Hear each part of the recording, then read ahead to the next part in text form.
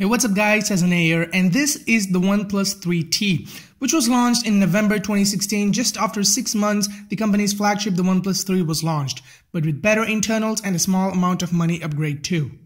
We're talking about $40 of increase. Well, what was the internals upgrade for that $40 increase? Well, it's kind of huge. We have a better CPU, we have a better battery, we have a slightly different color and a better front-facing camera. All of this upgraded costed only $40 increase, which is much better than a $100 increase for a color. okay, so the main point behind the video is to see whether the 3T is still worth it in 2017 and the time where many companies have released their flagships.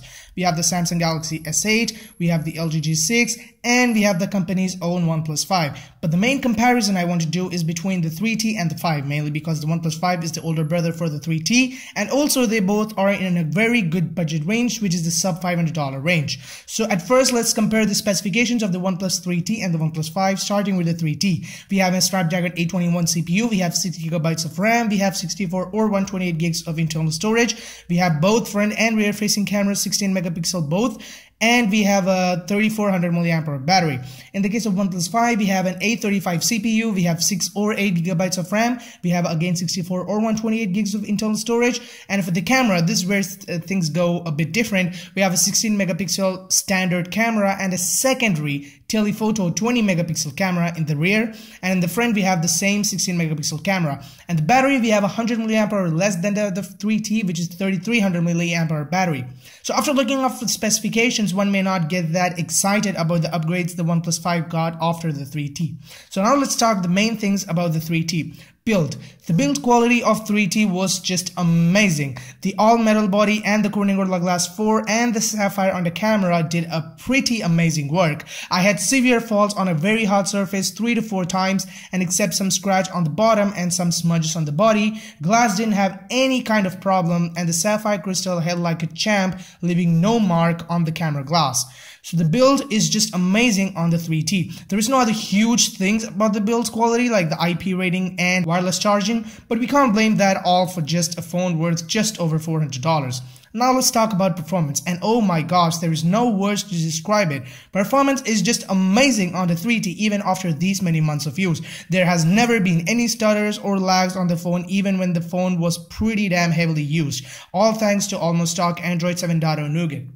The animations are quick, app response time is very less, switching between apps is pretty darn fast, multitasking is very great thanks to that big huge 6 gigabytes of RAM. So on the performance side of things, there is absolutely nothing to blame on the 3T. Usually in most phones with a skin on it like, you know, Samsung, at least after 3 to 4 months of use, we do get occasional stutters and some kind of OS stability problem. But with stock Android Nougat operating system, there is no problem with that. And by the time of December or November, the phone is gonna get Android 8.0 Oreo. So that's even better. Now the display of the 3T or any OnePlus phones is the main thing that will back anyone off from buying them because it's a 1080p AMOLED display.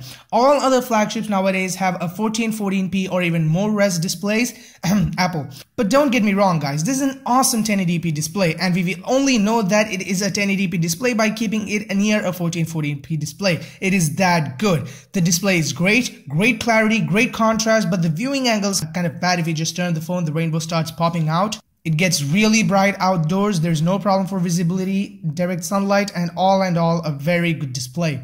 Now let's go to the camera part. The camera of the 3T is not mind-blowing or anything, right? There is no dual camera, but it holds pretty good in the competition. It has a 16 megapixel f2.0 aperture, although 1.7 would be better, but oh well. The picture out of the 3T is very good. The pics have very good dynamic range, very good contrast and saturation. Anyways, auto HDR is on, so when the scene is very good, the HDR will be enabled. You just don't have to manually press the HDR button. But now you guys might know that the modded Google camera camera with HDR Plus is out for devices with Snapdragon 820, Snapdragon 821, and Snapdragon 835. The link for this APK I will leave in the description down below. This means that we can choose this means that we can shoot with Google's awesome HDR Plus processing power and photo shot with that is just amazing. Here are the sample shots with the Google camera and the OnePlus side by side and you guys be the judge. The Google camera is just amazing. The camera in the OnePlus 3T is awesome. For $400, you're not missing anything. It is just that good camera for the price.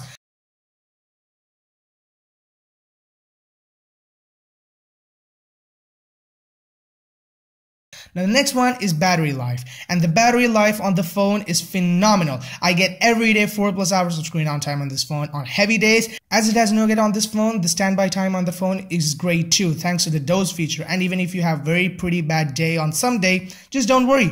Dash charge will save you. Dash charging is the best feature you will get on a OnePlus phone. It, it comes with a 20 watt charger brick and a very tight red USB type C cable and it charges so fast with 30 minutes you get 60% of battery life and in probably in an hour you get 90 to 93% of battery life the dash charging is one of the best features that you will want to buy from with a OnePlus phone. So it's just amazing. If you have a pretty bad day and you get, you know, an evening about you lose your battery charge, stability stuff, you just plug your phone in. With 30 minutes, you get 60% of battery life. What else you need? So the battery life is amazing and the alternatives for bad battery life is also just amazing. So all in all, for sub $450 phone, it has pretty much everything you want. Great performance, great battery life, great build, great camera, and then goes on. So now the question is, is it worse than the OnePlus 5 model?